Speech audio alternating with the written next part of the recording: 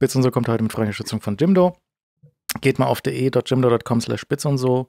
Alternativ auf jimdo.com slash de slash bits und so geht auch. Äh, dann habt ihr dort eine Übersicht, was es dort gibt.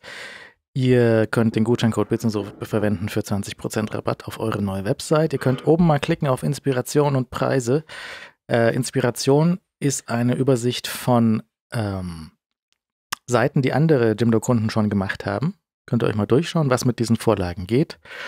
Äh, die sind teilweise recht bildlastig. Könnt ihr dort eure Fotos reinschmeißen, dann sind die direkt äh, äh, responsiv und hübsch anzus anzuschauen.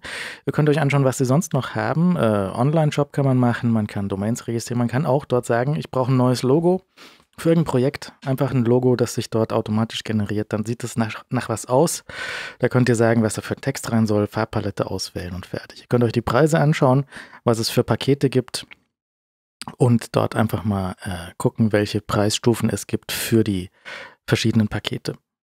Ich habe letztes Mal, als wir darüber geredet haben, mal währenddessen so mich an, mein, an das Logo meines Gärtners erinnert, das besonders war und habe das mal hab einfach mal seinen Namen und so Gärtnerei äh, Keywords in diesen Logo-Generator reingeworfen und das ist echt nett. Da kommt halt was raus, das kann man tatsächlich benutzen. Also war ich echt überrascht.